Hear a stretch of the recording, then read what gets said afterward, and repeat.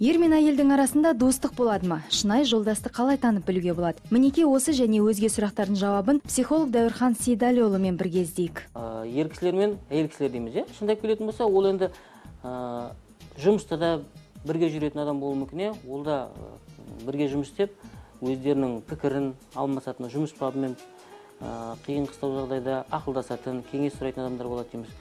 Бұндай достықтар жаңағы тек қана кәсіби тұрғыдағы ғана достық емес ол шынайы өмірде достық болады мысалы сіз ол кісінің отбасымен де бірлесіп олардың әңгімесін ортақ қызығушылығын отбасындағы тәрбиелік мәні жайында да әңгіме қозғай бастайсыздар сол секілді жаңағы әйел кісі де өзі семьясындағы әртүрлі проблемалармен ақылдаса беретіндей. Бұндай шынайы достық ешқашан да жоқ деген сөзбен тоқтамайды деп ойлаймын. Енді жалпылама екінші жағы бір сөзіңіз бар. Шындығын айтасыз иә? Қыз бен балалардың арасында достығы деген. Енді былайынша қарап отырсаңыз қыз балалар көбінде қызғаныш сезімі көптеу болады ғой ұлға қарата.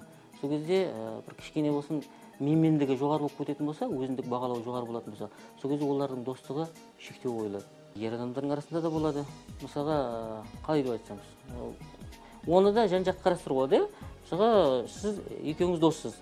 Бір әдемі қызбен таныстыңыз делік вот осынан проблема туындайды.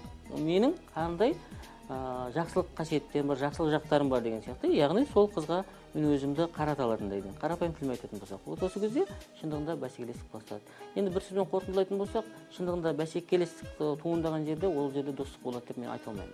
Досты әрқашанда өзіміздің қиын қыстау жағдайымызда қол ұшын беретін адам нағыз дос деп айтуымызға болады. Ол тек қана сізге қалтасынан ақша бөліп беру немесе бірдеңе сатып алып беру емес ол сізге ақыл ойымен эмоционалдық жай тұрғыдағы сіздің көңіліңізді бөле беру жалпылама күнделікті тұрмыс тіршілігімізде де өзінің ойымен бөлісе білетін адам нағыз дос деп айтамын. Ал мысалы кейде сізге соперничество дегендей сізден бір ступень жоғары көтеріліп кетеді немесе сізден озып кетеді деген түсінікте болатын болса сіздің досыңыз ол сізге нағыз дос деген түсініктен алып тастаған.